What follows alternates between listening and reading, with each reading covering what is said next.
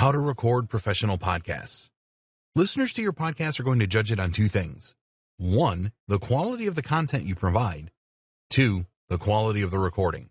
We're going to assume that you followed our advice on planning your podcast and will create valuable content for your audience. So that leaves the quality of the recording itself. In this video, we will look at how you can create podcasts like a pro. Start by recording properly. If you record your podcast correctly, then this will prevent you from spending a lot of time editing it. There's not much fun to fixing a lot of mistakes that you have made in a recording. If there are many errors in your recording, it might even be quicker for you to record the whole thing again. Okay, it is unlikely that you're going to create recordings without any mistakes in them, especially when you are just starting out. But you can do quite a lot to minimize the number of mistakes in a podcast recording by following these steps. Choose a quiet place to record. You would think that this would be obvious, but a lot of people make the mistake of recording their podcast in a noisy environment. Then they have to spend a great deal of time trying to edit out distracting background sounds. Sometimes this is not even possible. Choose a quiet location for your recording and be sure to close windows and doors. Turn off your phone or at least put it in silent mode. Tell other people in your home that you're going to be recording and not to disturb you unless there is an emergency. Speak clearly. We said before that we would always recommend the use of headphones when you are recording your podcasts. If you don't use any headphones, then you won't know exactly how you are sounding. You may be talking too loudly or too softly. Use headphones and speak directly into your microphone. If you are reading a script, then make sure that you can do this without turning your head away from the microphone. Listen in your headphones and see if you need to make some adjustments to your recording software, such as the volume, the cadence, the tone, and so on.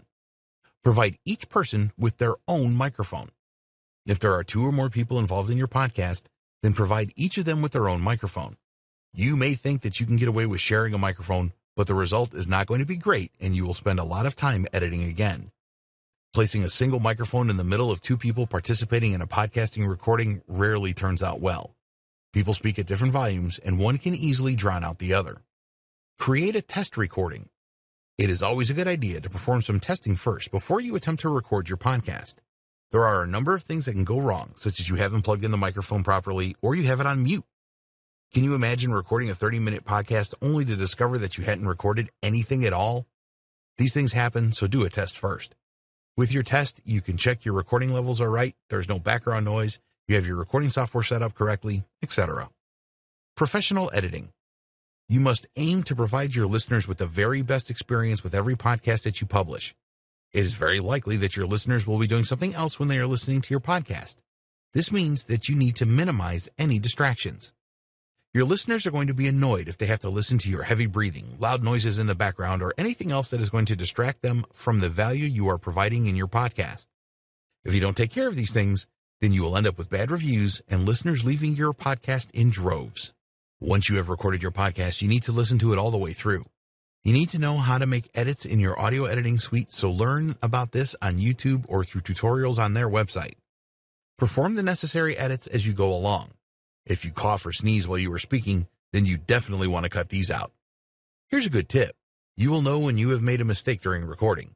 So directly after the mistake, leave a couple of seconds of silence so that you can perform seamless edits later. After performing all of the necessary edits, listen to the audio all the way through again. It is possible that you may have missed something.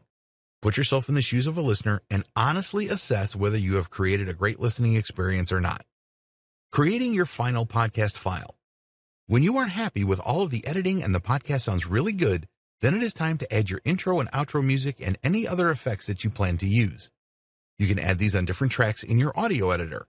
Make sure that you listen to the whole thing again before you create your final file. In most audio editors, you will then perform a mixdown, where all of the different tracks of your audio are converted into a single track. You can then save this in MP3 format so that it is ready for you to publish to the world. Before you are ready to upload your file, add metadata or your ID3 tags. Here, you will provide the necessary information so that your listeners can see important details about your podcast. This will be things like the name of the podcast, the number, the summary, and so on. Adding your ID3 tags in editing applications such as Audacity and GarageBand using iTunes is really easy, and there are a number of videos on YouTube that will show you exactly how to do this.